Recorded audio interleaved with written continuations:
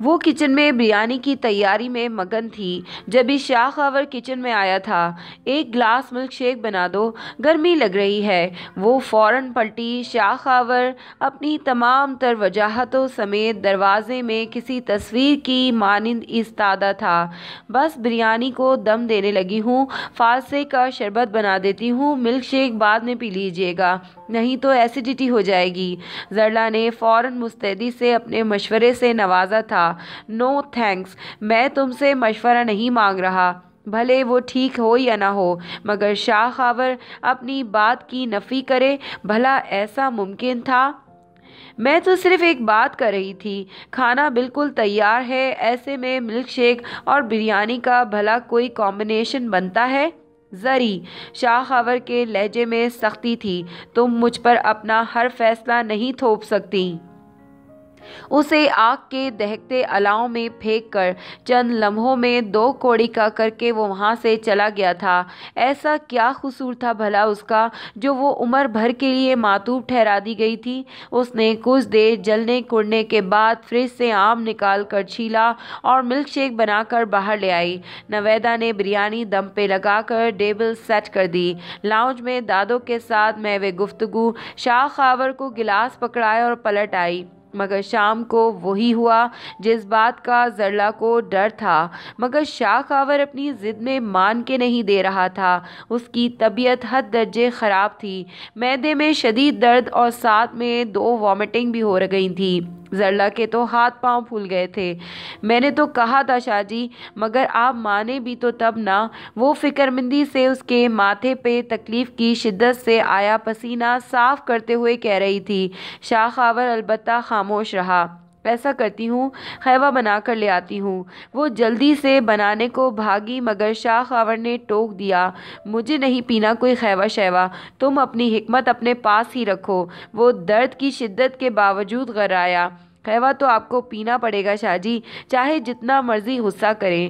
وہ جلدی سے کہتی، نیچے کچن میں چلی آئی۔ ایک کپ پانی میں ایک موٹی الائچی، چھوٹا ٹکڑا دار چینی، چھوٹا سا پودینہ اور چٹکی بھر سونف کو خوب جوش دیا۔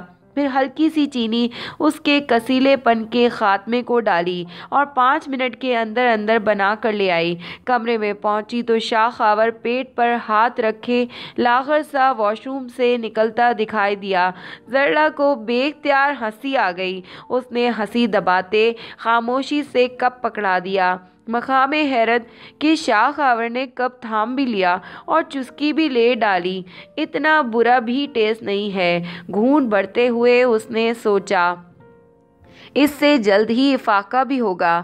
زرلا نے کرسی سنبھالی اور اپنے لمبے بال چٹیاں میں گوندنے لگی۔ اس کے دونوں بازو گردن کے پیچھے چنڈیاں گوند رہے تھے۔ اس کے باوجود کسی دو آشتا ناگن کی طرح اس کے بال لگ رہے تھے، جو اپنا خوبصورت پن پھیلا کر شاہ خاور کے ارد گرد اپنے وجود کو کس کر ساری عمر کے لیے اسے اپنا اسیر کرنے کی کوشش میں تھے۔ سنہری آنکھوں کی چمک ایسی تھی جیسے کشتی کے ڈولتے باد بان۔ شاہ خاور کی نظریں سادگی سے چٹیا گونتی، زرلا کی طرف متوجہ ہو کر ساکت ہونے لگی۔ وہ زرلا کا سیر ہو رہا تھا یا اپنی خواہشات کے ہاتھوں مجبور؟ اب کی بار تو زرلا اس کے لیے کوئی امتحان بنی ہوئی تھی۔ شاہ خاور نے نظریں جھکا لی دل ہمک رہا تھا اس کانچ کی گڑیا کی طرف، مگر اپنی انا آگے آ گئی۔ مگر دماغ اس کی غلطی کو معاف کرنے پر رضامند نہیں تھا۔ عجیب موڑ تھا۔ ایک دوسرے کو اتنا جاننے اور سمجھنے کے باوجود بھی دونوں ہی غلطی کر بیٹھے تھے اور دونوں ہی تلافی سے گریزاں تھے۔ اپنی اپنی انا کی بقا کی جنگ جیتنے کو آج اپنا آج تباہ کر رہے تھے۔ اپنے کل سے انجان بن رہے تھے۔ کتنا مضبوط، کتنا پائیدار رشتہ تھا ان دونوں کا۔ مگر دونوں ہی اس رشتے کو اپنی اپنی ضد کا گرہن لگا چکے تھے۔ شاہ خاور نے ٹھنڈی سانس ہوا کے سپرد کی اور کپ ایک سائڈ پر رکھ دیا۔ واش روم سے فریش ہونے کے بعد زرلا کمرے میں آئی تو تکیا اٹھا کر صوفے پہ جا لیٹی، کیونکہ آج سے پہلے وہ بیڈ پر سوتی تھی۔ آج شاہ خاور بیمار تھا، اسی لیے وہ صوفے پر آ کر لیٹ گئی۔ وہاں مت سو۔ اتنا بڑا بیڈ ہے، تمہارے لیے جگہ بن ہی جائے گی۔ شاہ خاور نے آہستگی سے کہا تھا۔ زرلا کو حیرت کا جھٹکا لگا۔ وہ لیٹے سے اٹھ بیٹھی۔ یہ شاہ خاور کیا کہہ رہا ہے؟ پھر ٹھٹک کر رک گئی۔ میں نے اس کی اتنی خدمت کی تو بدلے میں یہ فیور دے رہے ہیں۔ اوہو، اپنے پاس رکھیں اپنا یہ احساس۔ زرلا نے تنفر سے سوچتے خواہش سی آنکھوں سے شاہ خاور پر نظر ڈالی جو منتظر نگاہوں سے اس کی آمد کا منتظر تھا۔ میں ادھر ہی ٹھیک ہوں شاہ جی اپنی اوقات پہچاننے لگی ہوں۔ دھیرے سے کہہ کر رخ موڑ گئی۔ شاہ خاور نے سر جھٹکا اور لیٹ گیا۔ تو نہ صحیح وہ کون سا مرا جا رہا ہے اس کے لیے؟ مگر اسے نیند نہیں آئی۔ اس لیے تھوڑی دیر بعد پھر اٹھ بیٹھا۔ کل اپنی پیکنگ کر لینا، ہم اسلام آباد جا رہے ہیں۔ شام کو نکلنا ہے۔ اتنا کہہ کر وہ پرسکون سا ہو گیا۔ بے چینی ختم ہو گئی۔ گویا اس فیصلے کا بار لادے پھر رہا تھا وہ اپنے نازک کاندھے پر۔ زرلا چپ چاپ ان سنی کیے لیٹی رہی۔ گویا اسے کوئی فرق نہیں پڑتا۔ مگر یہ تو اس کے دل ہی جانتا تھا جو بلیوں اچھل رہا، رقص کر رہا تھا۔ دوسرے روز اس نے خاموشی سے پیکنگ کی اور سب سے من ملا کے شاہ خاور کے ساتھ گاڑی میں آ بیٹھی۔ سارا راستہ خاموشی سے کٹا تھا، مگر اب کی بار اس نے زرلا کو بھوکا نہیں رہنے دیا۔ جب وہ لوگ بھیرا پہنچے تو رات کے آٹھ بج رہے تھے۔ شاہ خاور نے خاموشی سے گاڑی موٹر وے ٹریک پر بنے، بھیرا ریسٹورنٹ پر پارک کی اور اسے لیے اندر ریسٹورنٹ میں چلا آیا۔ کیا لوگی؟ ویٹر ان کے قریب آرڈر بک کرنے آیا تو اس نے پوچھا۔ کچھ نہیں۔ میں گھر سے کھانا کھا کر آئی تھی۔ آپ اپنے لیے منگوا لیجیے۔ پچھلی مرتبہ کے پیش نظر اس نے اپنا اس دفعہ بندوبست کر لیا تھا۔ سو اب آرام سے بیٹھی تھی۔ شاہ خاور کو اپنا پچھلا رویہ یاد آیا تو ندامت سی ہوئی۔ پھر بھی کچھ تو لے لو۔ ابھی کافی سفر باقی ہے۔ اس نے مینیو کارڈ پر نگاہیں دوڑاتے سرسری لہجہ اپنایا۔ کچھ اس طرح کہ وہ کھانا بھی کھا لے اور اس کی فکر مندی بھی ظاہر نہ ہو۔ اوہو، اپنے پچھلے رویے کی تلافی کر رہے ہیں شاید۔ زرلا نے جل کڑ کے سوچا۔ ادھر شاہ خاور سوچ رہا تھا، خامہ خواہ بھاؤ دینے لگی ہے۔ تھوڑی لفٹ کیا دے دی، مزاج ہی آسمان پر پہنچ گئے ہیں۔ زرلا نے سوچا، ابھی دو گھنٹے مزید سفر کرنا ہے اور پھر رات کو وہاں کھانے کو کچھ نہ ہوا تو وہ تو بھوک کی اتنی کچی تھی۔ اسی لیے بادل نخواستہ اپنے لیے ایک برگر اور کوک آرڈر کر دی۔ ادھر شاہ خاور دل ہی دل میں ہنس دیا۔ سوچتے وقت اس کے چہرے کے تاثرات اس قدر مزکہ خیز تھے کہ پھر بھی وہ لیکن چپ ہی رہا۔ خاموشی سے اپنے لیے چکن ٹکا اور کافی آرڈر کر کے انتظار کرتے پورے حال پر ایک تائرانہ نگاہ ڈالنے لگا، پھر اس کی نظر ایک جگہ رک سی گئی، یا شاید زرلا کو لگی۔ اس نے شاہ خاور کی نظروں کے تعاقب میں دیکھا، کونے والی ٹیبل پر بیٹھی خوبصورت سی لڑکی اپنے سامنے بیٹھی کسی لڑکی سے بات کرتے ہوئے ہنس ہنس کر لوٹ پوٹ ہو رہی تھی۔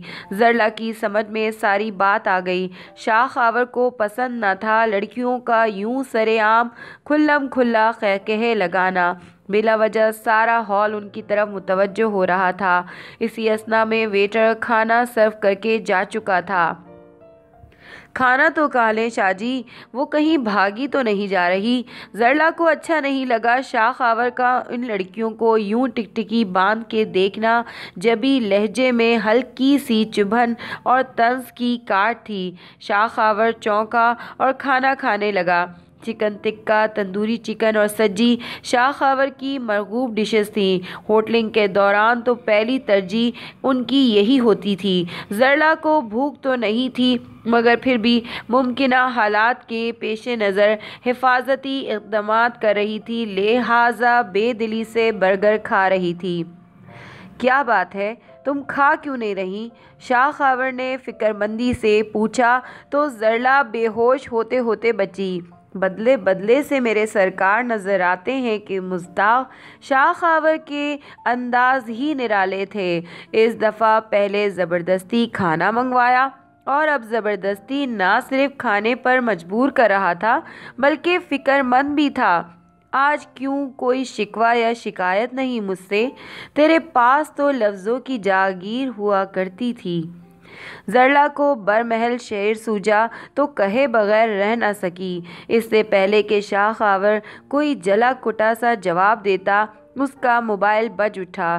زرلا اپنی پلیٹ پر جھک گئی، جیسے اس سے زیادہ اہم کام اس روئے زمین پر اس کے لیے ہو ہی نہیں۔ شاہ خاور نے فون کان سے لگایا تو دوسری طرف رانیہ تھی حسب عادت شکوے شکایات کرتی ہوئے شاہ خاور بہت پیار سے اس کے شکوے سنتے ہوئے اسے کسی چھوٹی بچی کی طرح سے پچکارتے ہوئے منا رہا تھا۔ زرلا نے برگر کھانا چھوڑ کر غور سے اس لمحے شاہ خاور کا پرانا روپ دیکھا جو شادی سے پہلے ان دونوں کے لیے مختص ہوا کرتا تھا۔ ارے بھائی، دونوں آئیں گی چھوٹی۔ ڈھیر سارے دن تمہارے پاس رہیں گے اور واپسی پر تمہیں ساتھ لائیں گے۔ پھر تو خوش ہوگی نا؟ زرلا مسکرا دی۔ یقیناً رانیہ ان دونوں کے دوبارہ چکر نہ لگانے پر خفا ہو کر شکوا کر رہی تھی۔ تمہاری بجو بھی بالکل ٹھیک ہے۔ ہاں بس ہم پہنچنے ہی والے ہیں۔ لو اپنی بجو سے بات کرو۔ اس نے جلدی سے فون اسے پکڑایا، خود اپنے پیچھے آنے کا اشارہ کرتے ہوئے باہر نکل گیا۔ زرلا ابھی فون پر رانیہ سے بات کرتی اس کے پیچھے نکل گئی۔ شاہ خاور پارکنگ میں کھڑا اس کا انتظار کر رہا تھا۔ رات کو گیارہ بجے وہ لوگ اپنے گھر پہنچے تھے۔ فلیٹ میں داخل ہوتے ہی زرلا کی جمالیاتی حص اش اش کر اٹھی۔ پورا گھر آئینے کی طرح چمکدار اور بے حد آرٹسٹک انداز سے ڈیکوریٹ کیا ہوا تھا۔ شاہ خاور آتے ہی اپنے بیڈ روم میں گھس گیا اور وہیں لاؤنج میں پڑے ایک صوفے پر وہ ٹک گئی۔ اسے بیٹھے پندرہ سے بیس منٹ ہی ہوئے تھے کہ شاہ خاور نائٹ سوٹ میں ملبوس گیلے بالوں کو تلیے سے سے رگڑتے ہوئے باہر آیا تھا۔ سامنے والے کمرے میں چلی جاؤ، فریش ہو جاؤ، میں تب تک چائے بناتا ہوں۔ مجھے نیند آ رہی ہے، میں چائے نہیں پیوں گی۔ زرلا نے کسل مندی سے اٹھتے ہوئے کہا، میں تمہارے لیے نہیں، اپنے لیے بنا رہا ہوں۔ دوسرے بیڈ روم کا باتھ روم خراب ہے، اسی لیے تمہیں کہا ہے کہ میرے چائے بنانے تک تم جا کر فریش ہو لو۔ زرلا کو اس کے اتنے صفا چٹ جواب سے سبکی سی محسوس ہوئی۔ وہ اندر کمرے کی جانب بڑھ گئی۔ فریش ہونے کے بعد وہ وہیں کمرے میں پڑے صوفے پر نیم دراز ہو گئی۔ اے سی کی ہلکی ہلکی کولنگ اور ٹھنڈے پانی سے لیے گئے شاور نے اسے فریش کر دیا تھا۔ اسے بیٹھے بیٹھے نیند آنے لگی۔ پتہ ہی نہیں چلا کہ وہ کب نیند کی آغوش میں چلی گئی۔ وہ بے خبر دیر تک سوتی رہی۔ جب اس کی آنکھ کھلی تو دن کے دس بج رہے تھے۔ وہ ہڑبڑا کر اٹھی۔ خود کو نئی جگہ پر دیکھا تو یاد آیا کہ وہ تو اسلام آباد میں تھی۔ شاہ خاور کے ہمراہ اس کے گھر۔ اس نے پورے گھر کو چھان مارا۔ شاہ خاور کہیں موجود نہیں تھا۔ شاید وہ آفس چلا گیا۔ اسے خود پر غصہ آیا کہ اسے صبح ناشتہ بنا کر آفس بھیجنا چاہیے تھا۔ وہ فریش ہو کر کچن میں آئی تو ضرورت کی ہر چیز کچن میں موجود تھی سوائے آٹے کے۔ اس نے سارے کیبنٹ چھان مارے، پر اسے روٹی پکانے کے لیے کہیں سے بھی آٹا نہیں ملا۔ ناچار اسے سوکھے توس کو چائے کے ساتھ حلق سے اتارنا پڑا۔ ناشتے کے بعد کچھ دیر ٹی وی دیکھا، پھر اٹھ کر صفائی میں جت گئی۔ ابھی اس کام سے فارغ ہی ہوئی تھی کہ ڈور بیل بجی۔ اس نے کی ہول میں دیکھا تو کوئی خاتون تھی۔ اس نے جھجکتے ہوئے دروازہ کھولا۔ سامنے موجود خاتون نے جھٹ ماتے پہ ہاتھ لے جا کر اسے سلام جھاڑا۔ سلام باجی، آپ خاور صاحب کی ووٹی ہو۔ اس نے فوراً اسے دیکھتے ہی اندازے لگانے شروع کیے۔ جی مگر آپ کون؟ زرلا کو اس کے حلیے سے اس کی حیثیت کا تعین کرنے میں تعمل ہوا لہجہ اور چہرے مہرے سے وہ خاص نہیں لگتی تھی، مگر اچھے کپڑوں میں ملبوس تھی۔ میرا نام خیرہ ہے جی یہاں کی صفائی کرنے آتی ہوں زرلا نے اسے اندر آنے کا راستہ دیا۔ تو پھر میرا اندازہ صحیح نکلا نا جی؟ آپ خاور صاحب کی ووٹی ہیں نا؟ وہ فوراً لاؤنج میں کارپٹ پہ پھسکڑا مار کے بیٹھتے ہوئے پوچھ رہی تھی۔ ہاں میں ان کی ووٹی ہی ہوں۔ زرلا نے ہنستے ہوئے اسے بتایا تھا۔ ہاں خاور صاحب نے ویا کب کیا؟ بتایا تک نہیں۔ بندہ مبارک باد ہی دے دیتا ہے۔ اس نے حیرت دکھ کی آمیزش لیے لہجے میں ناراضگی سے کہا۔ بس سب کچھ اتنی جلدی میں ہوا کہ موقع ہی نہیں مل سکا کسی کو بتانے کا۔ زرلا نے اس کی خفگی بھانپتے ہوئے بات بنائی۔ شاید وہ شاہ خاور کی پرانی ملازمہ تھی، اسی لیے اتنا حق جتا رہی تھی۔ پھر بھی باجی، بندہ منہ تو میٹھا کروا ہی دیتا ہے، خیرہ ابھی تک ناراض تھی۔ تو اب کروا دیں گے منہ میٹھا؟ ابھی کون سی اتنی دیر ہوئی ہے؟ زرلا نے اس کے دکھ کو کم کرنے کی کوشش کی۔ اچھا باجی، میں ذرا صفائی کر لوں، پھر صاحب جی آتے ہیں تو ان سے دو دو ہاتھ کرتی ہوں۔ وہ فوراً اٹھتے ہوئے بولی تھی۔ رہنے دو۔ صفائی میں نے کر دی ہے۔ ہاں بس سامنے والے بیڈ روم کا باتھ روم اچھی طرح سے دھو دو۔ اچھا باجی جی ابھی کر دیتی ہوں۔ فوراً مستعدی سے اٹھ گئی۔ اچھا سنو، خیرہ کے پلٹنے پر وہ فوراً بولی تھی۔ تم کب سے یہاں کام کر رہی ہو؟ سال سے زیادہ ہو گیا ہے جی۔ جب سے خاوت صاحب یہاں آئے ہیں، وہ اپنے جانی بابو نہیں ہے نا؟ وہی جو سامنے والے فلیٹ میں رہتے ہیں۔ ایمان سے باجی اتنے نیک دل اور ہمدرد ہیں کہ حد نہیں۔ ہاتھ کے بھی اتنے کھلے کہ بن مانگے ہی بچوں کے کپڑوں کے لیے پیسے وغیرہ دے دیتے ہیں۔ اکیلے رہتے ہیں، انہی کے کہنے پر میں یہاں کام پہ لگی تھی۔ خیرہ نے حسب عادت، بڑا ہی مفصل سا جواب دیا۔ تو پھر تمہیں کیسے پتہ چلا کہ میں ان کی بیوی ہوں؟ زرلا کو جو سوال پریشان کر رہا تھا، اس نے وہی پوچھ بھی لیا۔ سال سے اوپر ہو گیا ہے۔ جی یہاں آتے ہوئے کبھی کسی غیر لڑکی کو یہاں دیکھا نہیں۔ اب اس قدر گھریلو حلیے میں دیکھا تو خیرہ جان گئی کہ ہو نہ ہو، خاور صاحب جی نے بیاہ کر لیا ہے۔ ورنہ وہ ایسے کسی کو گھر میں نہیں آنے دیتے۔ خیرہ کے جواب نے زرلا کو انجانی سی خوشی دی تھی۔ وہ بلا شبہ شاہ خاور کی بیوی بن کر ہی سوچ رہی تھی اس وقت۔ دوپہر کا وقت ہو چلا۔ زرلا کو اب بھوک ستانے لگی، مگر فریج میں ناشتے کا سامان موجود تھا۔ باقی کھانے کا، پکانے کا کچھ بھی نہیں تھا۔ پیسے تو اس کے پاس بھی موجود تھے، مگر وہ یہاں کے راستوں سے واقف تھی۔ نہ ہی کسی ریسٹورنٹ کی ہوم ڈیلیوری سروس کے آشنا تھی۔ کشن گود میں دبائے چپکی بیٹھی رہی۔ خیرہ نے آرام سے دل جمعی کے ساتھ باتھ روم دھویا اور ساتھ ہی شاہ خاور کے صبح سے اتارے کپڑے بھی دھو دیے۔ تمام کام ختم کر کے خیرہ جانے ہی والی تھی کہ شاہ خاور آ گیا۔ شام کے ساڑھے چھ ہو رہے تھے۔ خیرہ نے ہی ڈور بیل پر دروازہ کھولا تھا۔ جھٹ ماتھے پر ہاتھ لے جا کر سلام جھاڑا اور شاہ خاور کے ہاتھوں میں موجود ڈھیر سارے شاپنگ بیگز کو لے کر لاؤنج کی سینٹر ٹیبل پر رکھنے لگی۔ شاہ خاور نے مشترکہ سلام کیا۔ زرلا نے آہستگی سے جواب دیا اور اٹھ کر کچن میں چلی آئی۔ فریج سے پانی کی ٹھنڈی بوتل نکال کر باہر لے آئی۔ خاور نے خاموشی سے پانی کا گلاس اس کے ہاتھ سے تھام کر لبوں سے لگایا اور خیرہ کی نظروں میں شکوہ دیکھ کر ہنس دیا۔ جانتا تھا کہ پچھلے ایک سال سے اسے شادی کے لیے رضامند کرنے والی ہستی وہ ہی تھی۔ وہ اکثر شام کو پانچ بجے آفس سے لوٹ آیا کرتا تھا۔ خیرہ بھی اس وقت آیا کرتی تھی۔ وہ پینتالیس پچاس کے لگ بھگ عمر کی عورت تھی جو اپنے بچوں کے پیٹ کے لیے جگہ جگہ کام کرنے پر مجبور تھی۔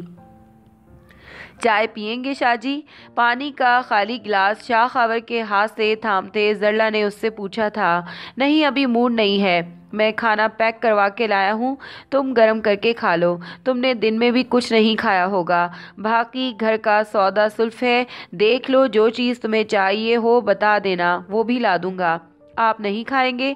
زرلا نے باقی سنی بات کو جیسے نظر انداز کر دیا تھا۔ تھوڑا لیٹ کھاؤں گا، ابھی موڈ نہیں ہے۔ دوپہر کو آفس میں لنچ کر لیا تھا۔ زرلا کو ساری بات سمجھ میں آ گئی۔ وہ جان بوجھ کر ایسا کر رہا تھا۔ اصل بات تو یہ تھی کہ وہ زرلا کے ساتھ بیٹھ کر کھانا کھانا ہی نہیں چاہتا تھا۔ زرلا کی بھوک ایک دم سے مر گئی۔ دل پر بوجھ سا دھر گیا۔ آنکھیں نمکین پانی سے بوجھل ہونے لگی۔ اس کے دل چاہا کہ وہ بے قدری پر اپنی دھاڑے مار مار کر روئے۔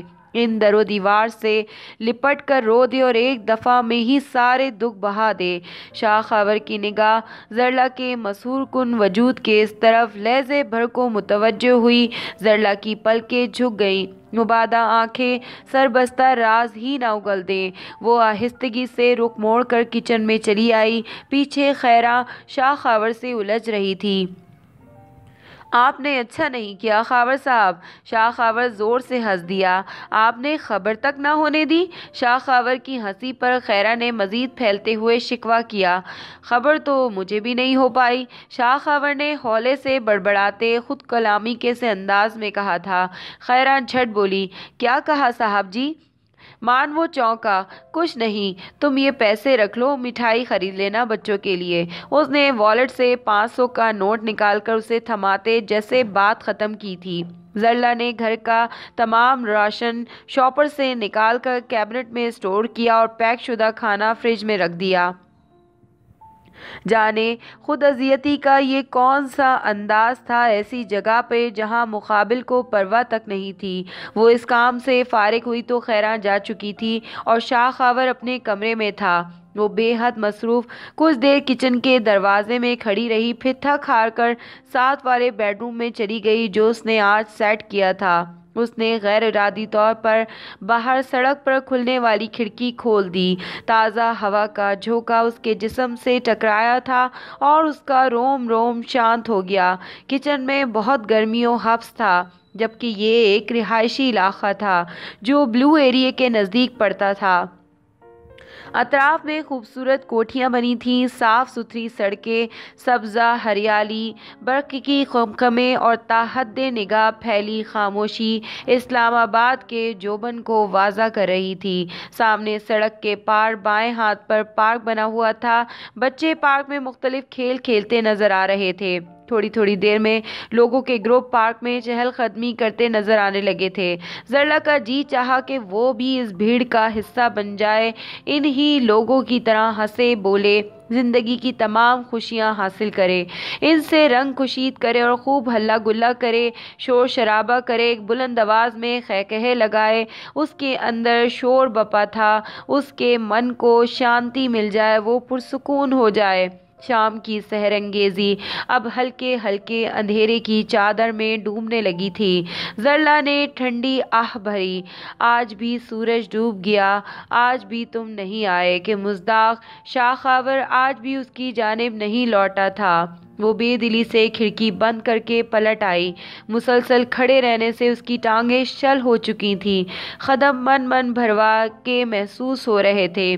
مان دروازے پر ہلکی سی دستک ہوئی، شاہ خاون اندر آیا تھا۔ تم نے کھانا کھایا تھا؟ وہ اس سے پوچھ رہا تھا۔ ڈھیلے ڈھالے ٹراؤزر اور شرٹ میں ملبوس، بکھرے بالوں سمیت وہ کتنا جاذب نظر دکھ رہا تھا۔ زرلا اس سے نظریں ہٹانا مشکل ہو گیا۔ بھوک نہیں تھی۔ اس نے آہستگی سے کہا، بیڈ شیٹ کی نادیدہ شکنیں صاف کرنے لگی۔ کھانا گرم کر دوں؟ مجھے بھوک لگ رہی ہے۔ یہ کہہ کر وہ واپس چلا گیا۔ زرلا کے اندر چھن سے کچھ ٹوٹا۔ اس نے پوچھا تک نہیں کہ اسے بھوک کیوں نہیں تھی، جبکہ وہ صبح سے بھوکی تھی۔ وہ جانتا تھا کہ گھر میں کچھ بھی نہیں ہے۔ سوائے بیڈ اور جیم کے۔ اور شاہ خاور اچھی طرح سے جانتا تھا کہ زرلا کو بریڈ اور جیم سے سخت نفرت ہے۔ زرلا نے کچن میں جا کر آہستگی سے مائکرو ویو میں کھانا گرم کر کے ٹیبل پر سیٹ کر دیا۔ وہ حسب توقع چکن براسٹ اور فرائیڈ رائس اور میٹھے میں فرنی لایا تھا۔ شاہ خاور کچن میں موجود ڈائننگ ٹیبل پر آ بیٹھا۔ کھانا کھا لو زری۔ اس نے پلیٹ اپنے آگے سرکاتے اس سے کہا، وہ بدستور کھڑی رہی۔ شاہ خاور نے ٹھنڈی سانس ہوا کے سپرد کی اور چمچہ پلیٹ میں رکھ دیا۔ کچھ دیر وہ اس کی جانب دیکھتا رہا، پھر اس سے کہا ہمارے رشتے میں ایسی کوئی گنجائش نہیں نکلتی زری جہاں روٹنے اور منانے کا سلسلہ ہو۔ ایسی کسی بھی بات سے مجھے کوئی فرق نہیں پڑنے والا، تم جانتی ہو۔ آپ کو فرق پڑنا چاہیے شاہ جی پڑنا چاہیے آپ کو فرق۔ زرلا، جو کافی دیر سے اپنے آنسو پینے کی کوشش میں ہلکان تھی ایک دم پھٹ پڑی۔ محبت کی ہے میں نے آپ سے۔ ایسا کوئی گناہ نہیں کیا کہ آپ مجھے میرے ہر حق سے دستبردار کر دیں۔ میں خود کو اس سے زیادہ مجبور نہیں کر سکتا زری وہ بے حد ٹھنڈے لہجے میں اس سے کہہ رہا تھا۔ تو پھر نہ کرتے مجھ سے شادی۔ وہ خالی خالی نگاہوں سے اسے دیکھتے ہوئے بڑبڑائی تھی۔ میرا وجود اگر اتنا ہی قابل نفرت تھا تو بالکل نہ کرتا اگر تم مجھ سے اس حد تک مجبور نہ کر دیتی۔ میں ابھی تک یہ سوچ سوچ کر حیران ہوتا ہوں زری کہ تم آخر اتنا گر کیسے سکتی ہو؟ وہ اس کی طرف سرد نگاہوں سے دیکھتے خائف سے لہجے میں کہہ رہا تھا، زرلا کا وجود کسی نوکیلے بھالے سے کٹنے لگا۔ میں اپنی کسی بھی حرکت سے شرمندہ نہیں ہوں، شاہ جی میں نے ایسا کچھ غلط نہیں کیا جس پر آپ مجھے تانے دیں۔ یہ کہہ کر وہ وہاں رکی نہیں، بلکہ بھاگتی ہوئی اپنے کمرے میں آ گئی اور بقیہ رات اس نے بیڈ پر اوندے منہ گرے سسکتے ہوئے گزاری تھی۔